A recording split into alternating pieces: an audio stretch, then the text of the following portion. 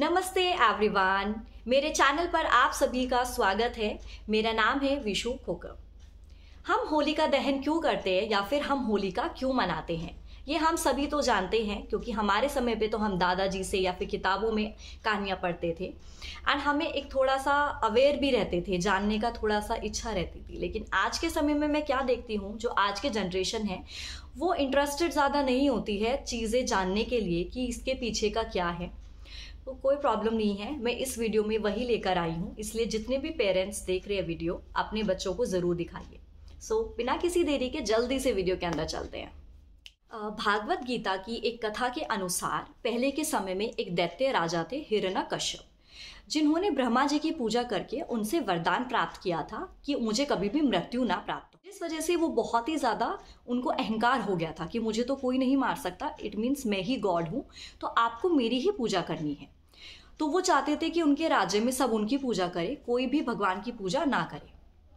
लेकिन उनके जो खुद के पुत्र प्रहलाद थे, वो विष्णु के बहुत बड़े भक्त थे मतलब वो काफ़ी कम एज से ही विष्णु जी को मानते थे, उनकी पूजा करते थे। एंड काफ़ी बार हिरण कश्यप ने प्रहलाद को मारने की भी कोशिश की थी, लेकिन वो तो विष्णु के भक्त थे। अगर कहते हैं ना, हम भगवान में विश्वास करते हैं तो वो हमेशा हमारी हेल्प करने के लिए आते हैं। वो किसी ना किसी भी रूप में आते हैं। हिरण्य कश्यप बहुत बार कोशिश करते थे प्रहलाद को मारने की बट वो हमेशा असफल रहते थे। इसलिए उन्होंने एक बार अपनी बहन होलिका को बुलाया, जिनको ऑलरेडी एक वरदान था कि वो अग्नि में जल नहीं सकती। तो होलिका को बोला गया कि उन्हें प्रहलाद को लेकर अग्नि में बैठना है ताकि प्रहलाद अग्नि में जल जाए एंड होलिका को कुछ भी ना हो। लेकिन उसका उल्टा हुआ।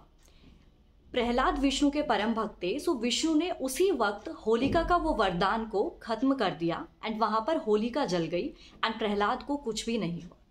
सो so, इसलिए हम हर साल होलिका का त्यौहार मनाते हैं हम लकड़ियाँ इकट्ठा करते हैं होली पूजन करते हैं मतलब अग्नि की पूजन विष्णु जी के पूजन करते हैं। तो इस त्यौहार से हम बेसिकली ये समझते हैं कि बुराई पर अच्छाई की जीत है, कि कोई बुरा करेगा सो ज़रूर उसको एक ना एक दिन उस चीज़ का भोगना ही पड़ता है इस जीवन में। तो इसलिए हम होलिका मनाते हैं। सो so, मेरे तरफ़ से आप सभी को हैप्पी होली। अच्छे से आप होली सेलिब्रेट करो। नेक्स्ट डे जो होली है वो कलर्स वाली होली होती है। सो so, उसके लिए प्लीज़ आप अच्छे से अपने फेस पर ऑयलिंग करके जाओ क्योंकि काफ़ी लोग पक्का कलर लगा देते हैं एंड जो बहुत मुश्किल से हटता है इतने केमिकल आते हैं उससे कैंसर होने की भी डर होता है हमारी बॉडी पर। प्रॉपर ऑयलिंग करके जाओ। नंबर टू जब भी आप कलर्स खेल रहे हैं काफ़ी पिचकारी मार देते हैं गुब्बारा मार देते हैं तो गोगल लगा के जाए क्योंकि हमारी आईज बहुत सेंसिटिव होती है उनको प्रोटेक्ट करिए। मतलब ये चीज़ें आप लीनियन से नंबर थ्री कोशिश करिए पक्के रंग से नहीं जो गुलाल आते हैं उनसे खेलिए। पानी का भी कम से कम यूज़ करिए क्योंकि वेस्ट वाटर करना is also not good and बाकी अपने फ्रेंड्स फैमिली के साथ अच्छे से आप होली का त्यौहार सेलिब्रेट करिए। Again happy Holi to every